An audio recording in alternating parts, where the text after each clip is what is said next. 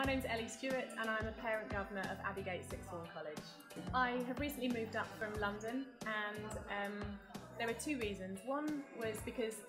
I thought it would be a really exciting opportunity to be involved in the development of the school right from the beginning.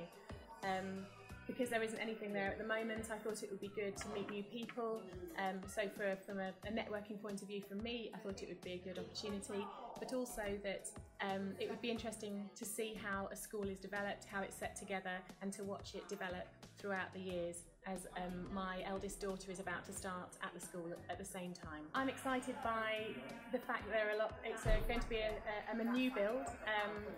with all of the state of the art computers and facilities um, but also that the teaching um, staff are highly qualified and really experienced and have come from a lot of different areas and different schools. So hopefully they'll bring with them the expertise to help um, get the children through with, with excellent grades